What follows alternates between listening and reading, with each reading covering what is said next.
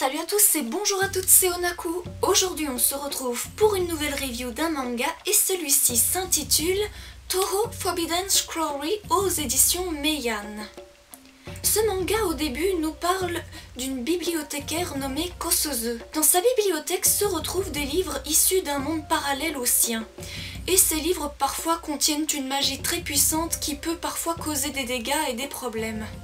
Marissa, une jeune magicienne, est souvent intéressée aux livres de Kosuzo, mais ce n'est pas vraiment la vie de Hakureremu, une chamane du temple du paradis et exorciste. Toutes les deux sont confrontées à résoudre des mystères liés à des activités paranormales et de hantises.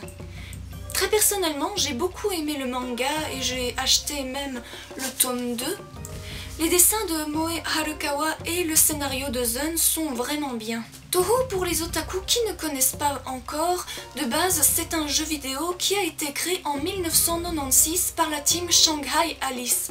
Au fil du temps, Toho a connu pas mal d'opus et aujourd'hui le dernier jeu vidéo en date est Unconnected Marketeries. J'avoue, j'ai pas vraiment joué aux jeux vidéo, mais j'ai joué uniquement à une application avec Toho sur tablette, c'était Toho Anafuda.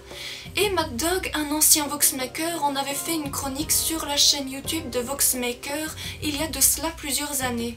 Et moi, il y a de cela plusieurs années aussi, j'avais fait le cosplay de Hakure Lemu à la Medinasia. Franchement, ça ne me rajeunit pas, mais bon.